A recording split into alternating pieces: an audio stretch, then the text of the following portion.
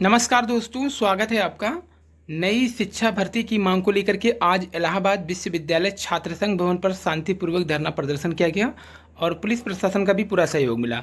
ADM साहब को सौंपे ज्ञापन में, माननीय मुख्यमंत्री जी तक बेसिक शिक्षा विभाग में रिक्त पड़े खाली पदों की विज्ञप्ति टेट के पहले जारी करने की मांग की गई है। तो यहाँ पर अभ्यर्थियों की ओर से ये मांग किया गया है कि टेट के पहले ही विज्ञप्ति जारी किया जाए। वहीं बात कर लेते हैं कि अगर प्रधानी चुनाव की लिस्ट संशोधन केवल पाँच दिन में हो जाती है, जबकि टीजीटी, पीजीटी या फिर उनहत्तर हज़ार शिक्षक भर्ती में जो संशोधन है, वो तीन से चार महीने में भी पूरा नहीं हो पा रहा है। तो ये लेट और लतीफ़ा अधिकारियों और विभाग की ओर से है। सरकार भी इस पर नहीं ध्यान दे रही है कि जहाँ प्रधानी चुनाव की बात करें तो जो लिस्ट था संशोधन का, आरक्षण वाला पाँच दिन में ही संशोधन हो गए लेकिन टीजीटी, पीजीटी का देखिए चार महीने में हुआ जबकि उनहत्तर हज़ार शिक्षक भर्ती का संशोधन अभी तक कंप्लीट नहीं हुआ, जिसके कारण थर्ड काउंसिलिंग रुकी हुई है। वहीं मध्य प्रदेश के एक पेंटर द्वारा, लॉकडाउन के दौरान, यानी कोरोना काल में, जिन डॉक्टरों ने अपनी जान गंवाई थी, उन्हें श्रद्धांजलि देने के लिए मास्क पर इन लोगों के चित्र को बना है।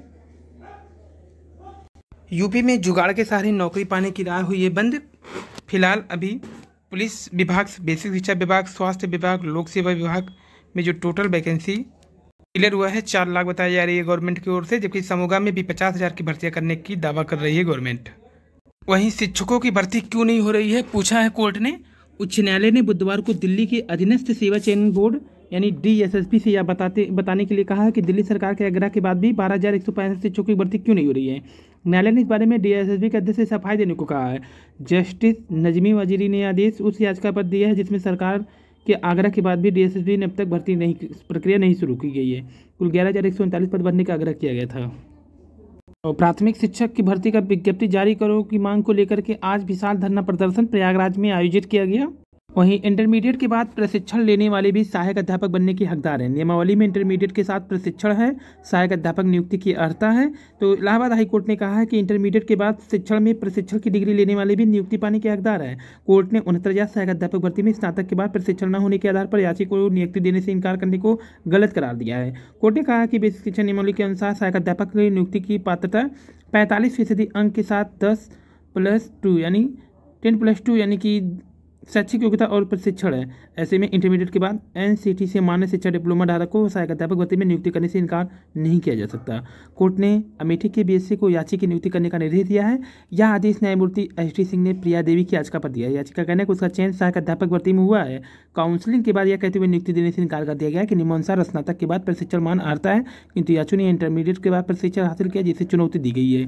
कोर्ट ने कहा इस मुद्दे पर विक्रम सिंह केस में पहले ही व्याख्या कर दी गई है, जिसके तहत सहायक अध्यापक पद पर नियुक्ति के लिए न्यूनतम अर्हता इंटरमीडिएट के साथ शिक्षण में प्रशिक्षण की डिग्री है।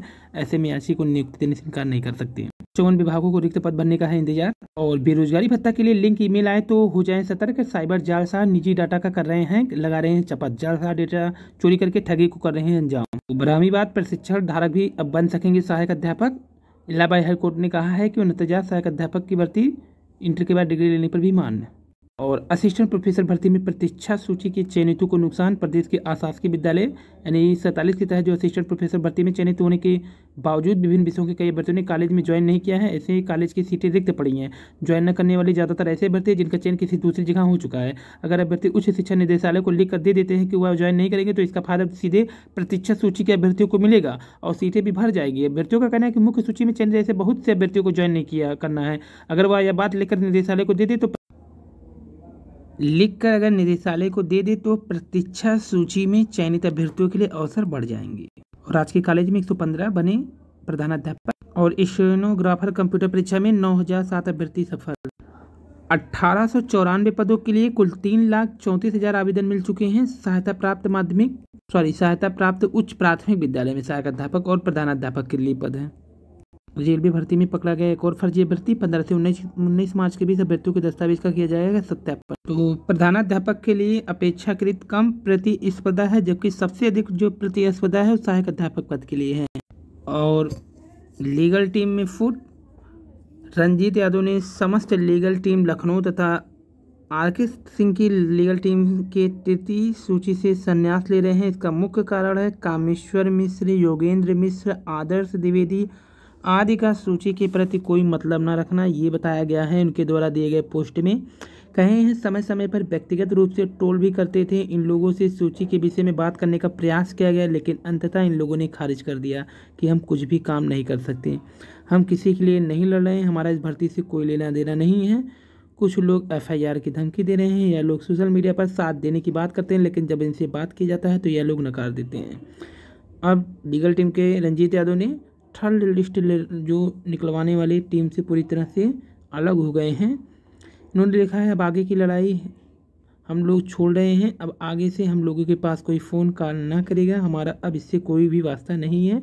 ये लीगल टीम के जो सदस्य हैं थर्ड लिस्ट निकलवाने के लिए सक्रिय सदस्य थे। काफ़ी टोल किया गया इन्हें। हालाँकि जब भी अपडेट देते थे तो काफ़ी लोग गालियाँ भी देते थे।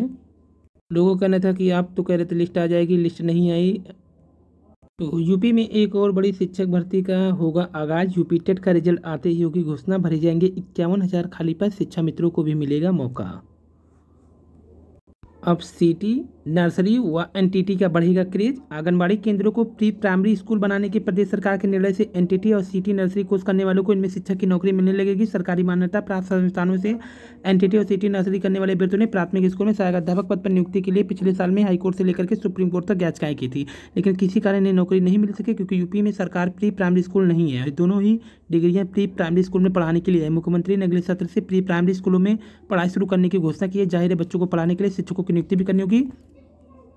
तो उत्तर प्रदेश के मुख्यमंत्री योगी आदित्यनाथ ने कहा कि बेसिक शिक्षा परिषद के अंतर्गत आने वाले सभी आंगनबाड़ी केंद्रों को प्री प्राइमरी स्कूल में परिवर्तित किया जाएगा। तीन साल से कम उम्र के बच्चों को प्री प्राइमरी स्कूल में प्रवेश मिलेगा। बाद में उन्हें नियमित स्कूलों में कक्षा एक से प्रवेश दिया जाएगा। और सिद्धार्थ नगर विश्वविद्यालय कपिल वस्तु, बेसिक शिक्षा मंत्री सतीश द्विवेदी जी उप मुख्यमंत्री और राज्यपाल महोदय। यहाँ पर दीक्षांत समारोह आयोजित हुआ था। कई नई घोषणाओं का भी यहाँ पर शिलान्यास किया गया। वहीं एक प्रश्न के उत्तर में दो गोले काले करने पर उम्मीदवारी रद्द कर दी गई है। कटाफ से ज़्यादा अंक होने के बावजूद आवेदक की भर्ती प्रक्रिया से बाहर कर दिया गया है। चंडीगढ़ का मैटर है, जहाँ पर मार्कशीट में एक सवाल के जवाब में दो गोले काले करने पर एचएससी ने आवेदक की उम्मीदवारी ही रद्द कर दी। और सहायक अध्यापक के तिरसठ चयनितों का वेतन निरस्त कर दिया गया है। यूपीएससी ने शैक्षिक दस्तावेज़ जमा न करने पर की है कार्रवाई। तो चूल्हा छोड़कर रसोइयाँ संभाल रही हैं बच्चे। कहीं एक शिक्षक तो कहीं शिक्षा मित्र के सारे परिषदीय स्कूल। यहाँ पे देखिए लिखा भी गया है कि उत्तर प्रदेश में यथाशीघ्र टेट कराने के बाद रिक्त पदों पर विज्ञापन और भर्ती प्रक्रिया प्रारंभ किया जाएगा। तो थर्ड काउंसलिंग में देख लीजिए, आप लोग स्वयं देख सकते हैं कि अभी कुछ जनपदों के कार्य प्रगति पर था। संभवतः कल शाम तक लगभग सभी जनपदों से डाटा प्रेषित कर दिया जाएगा। इसके बाद अगली लिस्ट पर ही काम प्रेषित होगा। जल्द लिस्ट आपके सामने होगी। ये है सुल्तानपुर से। जो भेजा गया है डाटा, आपको फिर से बता दें कि तृतीय काउंसलिंग के अभ्यर्थियों से निवेदन है कि किसी की पोस्ट पोस्ट से परेशान मत होइए। सब कुछ आपके पक्ष में है। कई जिलों में अभी संशोधन निस्तारण का कार्य चल रहा है। संशोधन का कार्य पूर्ण होते ही समस्त डाटा शासन के पास पहुँच जाएगा। धैर्य तो रखना पड़ेगा, ये लिखा गया है। यहाँ पे देखिए, जिला बेसिक शिक्षा अधिकारी सुल्तानपुर ने क्या भेजा है कि शासनादेश संख्या, फिर यहाँ पर अनुभाग इन्होंने लिखा है कि जिन लोगों को संशोधन के बाद ज्वाइनिंग दे दी गई है, उन लोगों ने अपना साक्ष्य नहीं दिए हैं, जबकि उन्होंने कहा था हम साक्ष्य देंगे। तो यही पूरा डाटा इनकी ओर से फिर मांगा गया है। इस पर लिखा गया है, यदि आप निर्धारित तिथि को सुनवाई हेतु उपस्थित नहीं होते हैं तो यह माना जाएगा कि आपको प्रकरण के संबंध में कुछ नहीं कहना है, तथा शासनादेश एवं विभागीय निर्देशों के कम में कार्यवाही संपादित कर दी जाएगी, यानी इनकी नियुक्ति अब रद्द करके डाटा भेज दिया जाएगा। बाईस हज़ार सीट को जोड़ने के लिए भी अभ्यर्थी लगातार अपना प्रयास जारी रखे हुए हैं